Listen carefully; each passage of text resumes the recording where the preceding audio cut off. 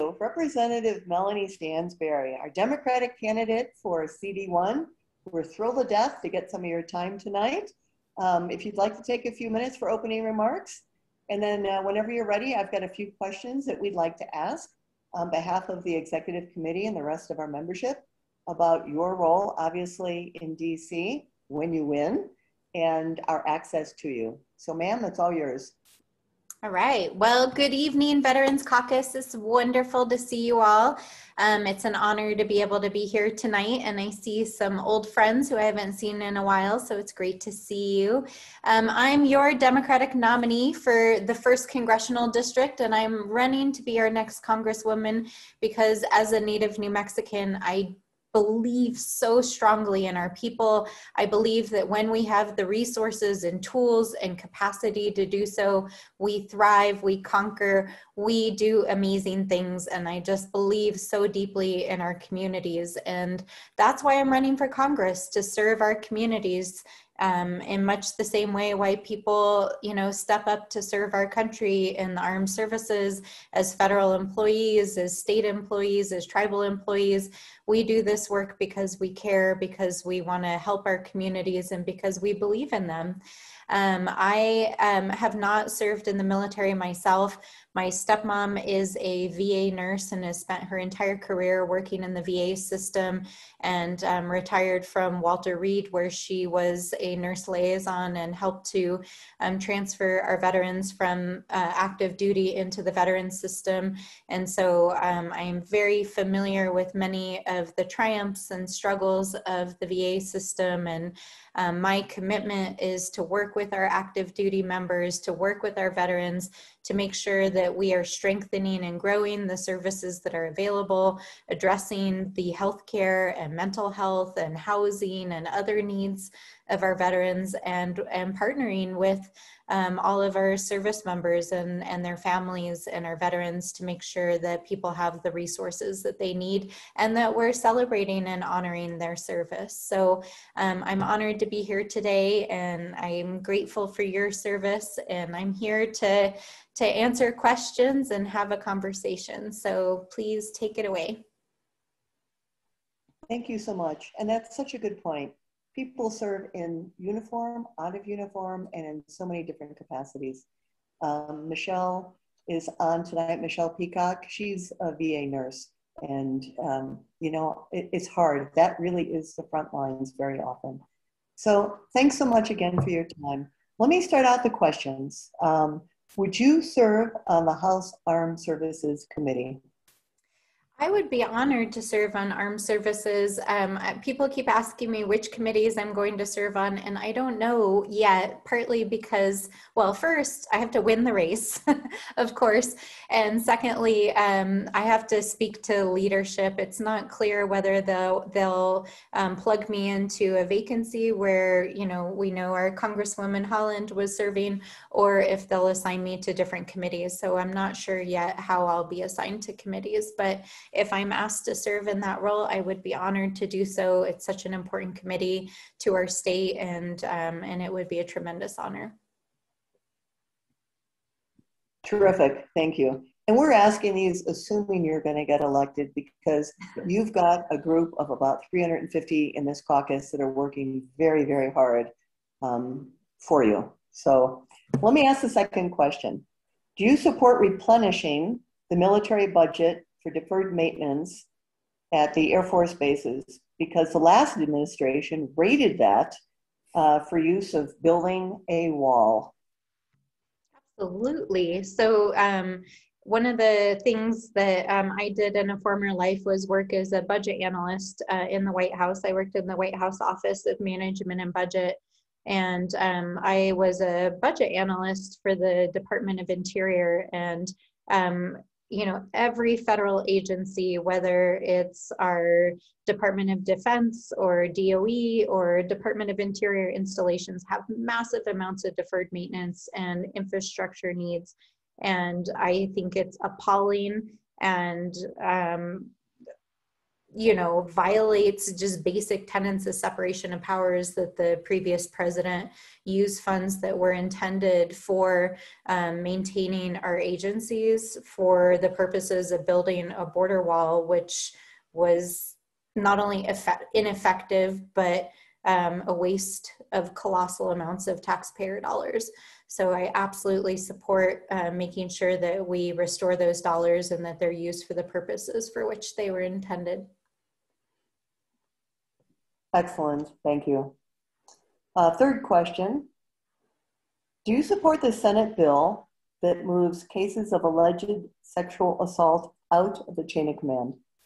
Yes, absolutely. And um, I very much support the efforts that have happened in the wake of the Vanessa Guillen tragedy. Um, you know, it's really critical that we ensure that there are processes for all service members and veterans to feel safe uh, in the line of duty and to take um, any challenges that they're having um, you know out of the out of the chain of command so that they can address those issues so um, I very much support that bill. And um, I've also committed that once the bill is reintroduced in the House, if it's not too late by the time I get there, that I would co sponsor the bill in the House.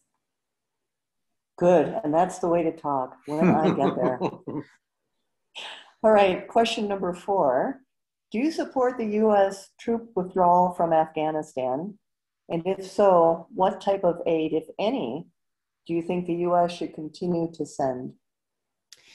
I do support the withdrawal of troops from Afghanistan um, and the president's approach of taking a thoughtful, planned approach to doing so. I think that we have to stand with our troops, support our troops and their families, and ensure that everyone gets home safely. But I don't believe that we should be funding and putting our troops in harm's way for endless wars year after year.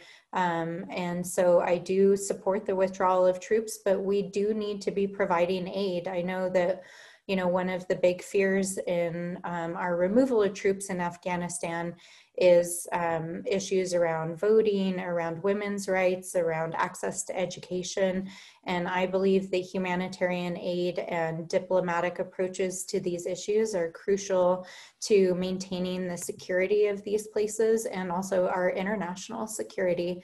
So I do support some continued presence for humanitarian reasons as well as continued aid to ensure that there is that support for democracy and basic human rights um, as our troops are coming home. Yeah, I agree completely. Thank you. Um, question number five How will you engage with leaders in veterans organizations in New Mexico to remain apprised of important issues? And how accessible will you be to those leaders, present company included?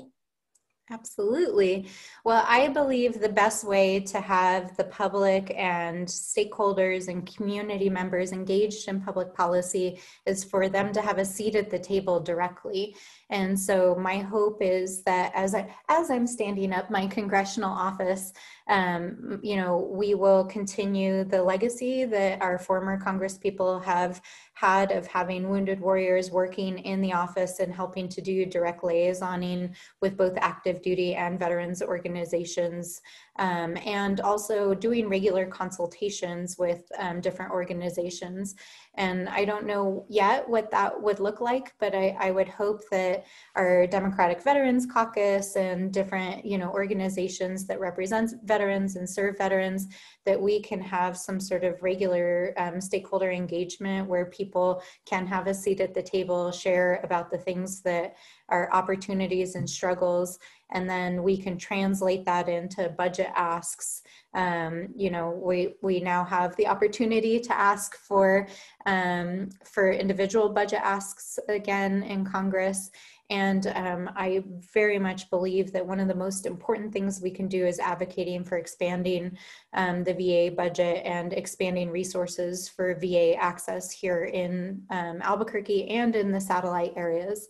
So those are all some of the things that um, I'm hoping to do, but I also will look to you all um, for recommendations about how to best do those consultations and how to keep people um, engaged and how we can best make sure that people's voices are heard in the process.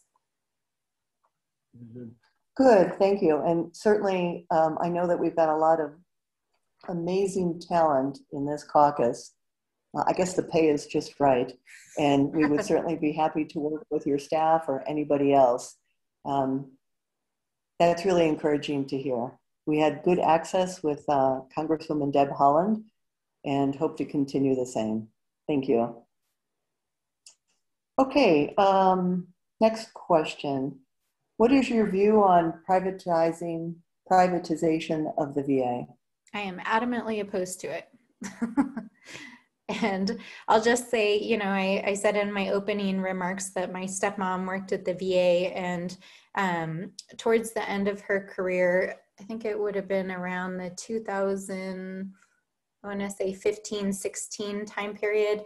Um, she she had actually been working in the polytrauma unit at Walter Reed, which is the unit where wounded warriors who come back from active duty, who have brain injuries and things like that. Um, she had been working there for almost a decade at that point, and um, doctors actually get rotated out of that unit almost every 18 months because it's such a traumatic unit to work in. And she needed to um, move into um, you know a job where it was less stressful. And so she took an assignment in va headquarters and she worked there for a couple of years and um, i got to you know through her experience really see um, some of the you know what's going on under the hood inside of va headquarters.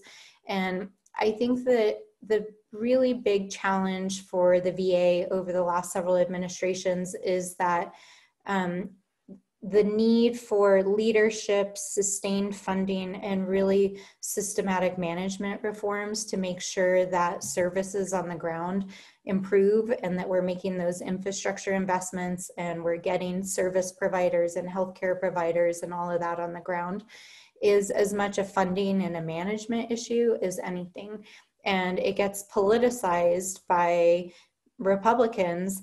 Um, and uh, you know, it, this is kind of the drum drumbeat that happens that somehow privatization is going to fix what are really managerial and budgetary problems. What we need is strong leadership, good management, reforms, and really strong, robust funding that actually re- reaches our veterans and our service members on the ground. So I will be a strong partner um, as much as possible from the congressional side to make sure that that is happening and advocating for New Mexico's veterans in the process. Fantastic. As, as you know, we've got 11% of the population of this state for veterans, and uh, some of them don't have transportation to the single veterans hospital in the fifth largest state of the US and uh, not all of them are on computers. So telemedicine doesn't work for them, and we can't forget them. Um, next question. Would you, would you support a 10% cut in defense spending, including New Mexico national labs like Sandia and Los Alamos, and military bases? So I answered yes to this question um, during the primary with regard to the overall budget for the military, but I don't support it as a cut to New Mexico's labs and installations. And so I'd love to kind of explain my thinking and, and rationale. So um, as I mentioned, I worked as a budget analyst on the federal budget, and in particular, I worked as a budget analyst on research and development. And when you work on the federal budget at that level, what you see is that there is a tremendous amount of federal money that gets spent that just goes out the door to contractors. And this is across all different agencies, but particularly pronounced in, in DoD spending. And we literally see billions and billions and billions of dollars get spent on weapons systems, for example, built by military contractors that literally never even get used. There's planes that sit in hangars. There's missiles and defense systems and all kinds of things that gets developed. There's billions of dollars spent on research and development on computer systems and things like that that literally never see the light of day. They're never used in military operations and they're never used in civilian um, uses either. I think that it is possible it, within the overall federal budget to reduce spending, wasteful spending uh, of that nature and re-divert it into research and development on things that is critical, like addressing climate change and clean energy and addressing our drought crisis and um, you know uh, retrofitting a lot of a lot of the military's operations um, could be made more sustainable um, improving you know um, military installations um, overall infrastructure and um, and ecology because it's a huge proportion of our of our public lands are also military lands. So what I support is diverting those resources into what I consider public good.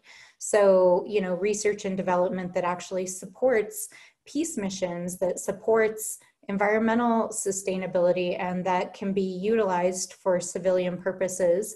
And I think that we can divert those resources and still keep our country safe because I think there's a huge amount of those resources that are not even utilized to keep our country safe. It's just a lack of um, courage on the part of appropriators um, in Congress to really make sure that that money gets used for its highest purpose.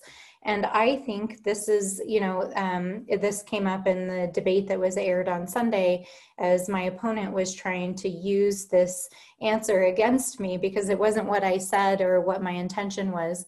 Um, I think that we can actually increase funding in our labs and our research labs, our Air Force research labs in New Mexico by putting our scientists and engineers and, you know, our technicians to work solving public good problems like climate change and drought and clean energy because we have the greatest minds in the world literally living in New Mexico. So not only do I not support uh, cutting that funding, I think we should be increasing that funding. I think we should be spending that money on clean energy and climate change. That's a wonderful answer. So Certainly not a 10% across the board cut, which does a lot of damage to some important smaller programs, but to take money that is not needed, that is actually wasted, and redivert to the common good, including climate action. And that takes me right into the next question. Would you, and it, it sounds like we know the answer, but I want to ask it. Uh, will you work to turn our military industrial complex into a climate action industrial complex. Basically, shift focus, shift focus from excess production of planes, ships, tanks, or bombs, and put it into solar panels, wind turbines, batteries, controls, and then, of course, the needed R&D. Yes, absolutely. I've never heard it called that, but I love it and you know i'll just say so my background's in water. I work in water water resources management. And specifically i work on helping to translate climate models into um, water management models that then we can use for um, policy and for addressing our water resources needs. And i've actually worked on several projects with scientists at sandia labs. And um, you know i can tell you that literally quite literally some of the best hydrologic modelers in the world sit at Sandia Labs, and they were originally hired to do groundwater modeling um, for um, nuclear storage projects. And when those projects got shelved, they had to get sort of repurposed for other projects. And so they started building conflict resolution models. And we now provide that the United States is foreign aid to countries all over the world to help them do transboundary water conflict modeling. And I actually worked as a contractor on a project uh, with those modelers. And we now use the models that they developed for helping manage the Rio Grande. So not only can we do this, this is something that our labs are really good at up at Los Alamos. They have the best fire models literally in the country. So we can put those minds to solving our country and New Mexico's and our world's greatest problems. And we already have a track record of doing that. And I know for a fact that many of the scientists at our labs would love to be working on those kinds of missions. And so I know we can do this. And, and I think that um, the Biden administration hopefully will also help to prioritize bringing those dollars here to do that. That's excellent. And you know, I remember from my time on active duty, um, the Navy was really looking at the issue of destabilization from climate instability and climate crisis. So it is a national security concern. Yeah. And if we can uh, not get into water wars or any other kind of wars or not have massive populations become climate refugees and disrupting neighboring uh, nations, it's going to be a, a, huge benefit. So sometimes you don't see the good that that uh, that you do because it's a negative. You don't have a war, you know, you don't have an insurrection. But but I think that's a wonderful idea. So Melanie, you've answered uh, all of our questions. Um, we had about 10 people last night that were giving us some ideas. I really like the questions that they asked, and I really love your answers. Um, and I'd like to thank you. Um, I'd like to, to close and say that we are endorsing you and Yay. we'll be sending you our endorsement. we really are all out there um, to support you. You're going to do a wonderful job. And I'd like to give you a couple minutes to close. Thank you.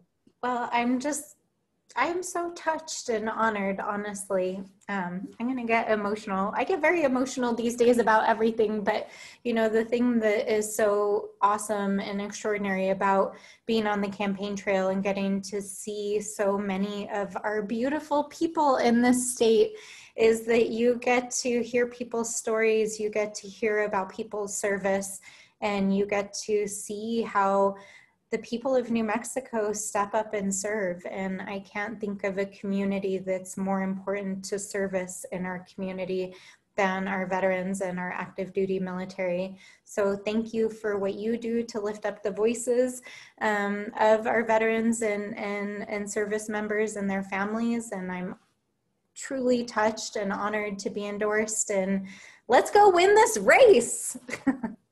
So let's go win this race. Absolutely. All right. All right. Thank okay, you, well, we'll let you go. Thank you so much for joining us and good luck. Couple weeks All to go. Right. Bye. Three weeks. Don't forget to vote. already did. Yep. All right. Already did. Bye. Thank you. Bye. Bye.